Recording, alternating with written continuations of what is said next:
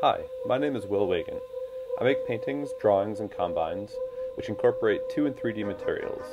The content of my work is concerned primarily with American socioeconomic disparity and the absurdity of attempting to process reality in post internet culture.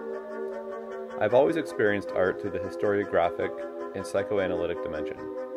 Much of my work has arisen from short story writing and automatic drawing, the content from which arises from reading texts related to psychology and American history nonfiction books relating to class and race.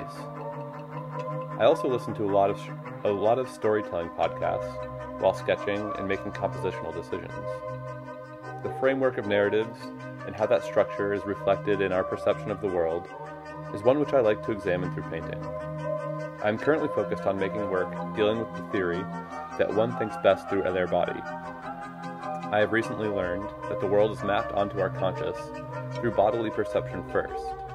Cognitive apprehension is secondary and comparatively unreliable.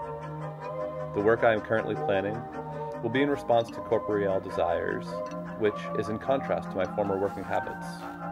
Processes related to obsessive illustrative techniques composed of fine motor skills with picture based intent.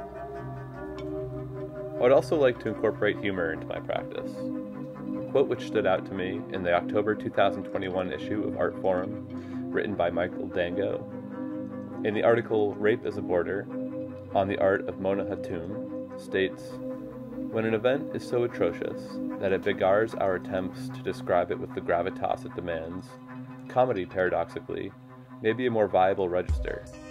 Greater Divide, the exhibit and review, is not a rape joke, but it is a joke nearby rape, beside it, there to carry us through it.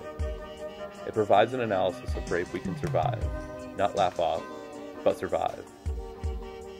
This quote resonated profoundly with my intention of making art that is potentially humorous when handling some of America's most troubling societal woes related to our recent brush with fascism.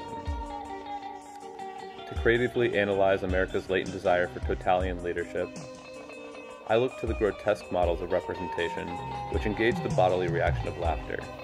A meaningful tool of survival is the ability to laugh amidst incomprehensible times.